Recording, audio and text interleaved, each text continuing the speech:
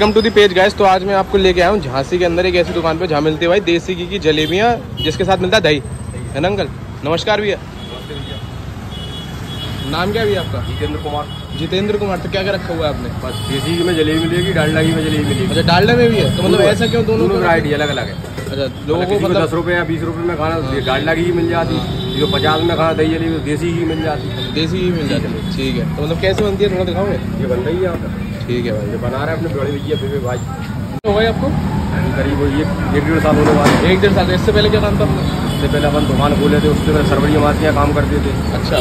फिर दीपावली लिए काम किया दो साल। अच्छा। उसके बाद यहाँ खड़े हैं मतलब सोचा कैसे जलेबी वगैरह के बारे में? ज़्यादा गली के अंदर दुकान थी लॉकडाउन में दुकान अंदर गई थोड़ी डाउन में आई। हाँ। और दुकान बंद करने पड़ी मजबूरी में। कोविड के बाद? हाँ कोविड के बाद। मतलब आपने नया बिज़नेस शुरू कर लिया। नया बिज़नेस क्या है। ये भाई अपनी मेकिंग स्टार्ट होने वाली देसी की जलेबी होगी है ना अंकल तो कितने समय से बना रहे भैया आप जलेबी? काफ़ी साल हो गए बीस साल? ज़्यादा हो गया। और इसे बैटर में क्या रहता है ये? बैटर में मैदा रहती। है अच्छा सिर्फ़ मैदा रहती है? सिर्फ़ मैदा रहती है और कुछ नहीं रहता।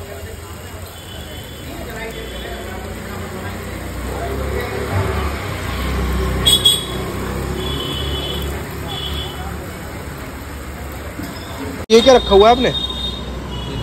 अच्छा ये दही रहता है क्या? मतलब यहाँ के लोग दही के साथ खाना पसंद करते हैं?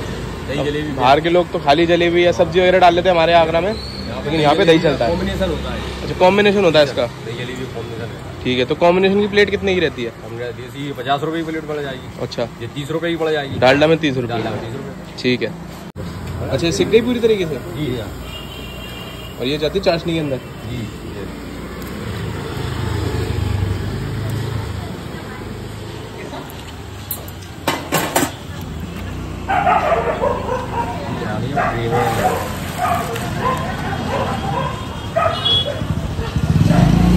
ये तो एक प्लेट ला के दिखाओ देसी वाली। अच्छा ये नीचे रख देते हो ताकि मक्खी वक्खी ना आए। हाँ बिल्कुल। और साफ़ सुथरा काम रहता है बिल्कुल साफ़ सुथरा काम रहेगा।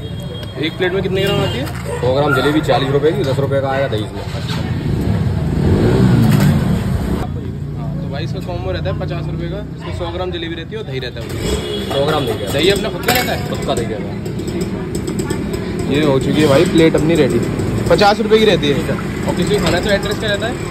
मान एक चौक है सराव बाज़ार एक चौक। झांसी। थैंक यू सुथरा काम रहेगा। एक प्लेट में कितने ग्राम आती है? सौ ग्राम जलेबी चालीस रुपए की दस रुपए का आएगा दही में तो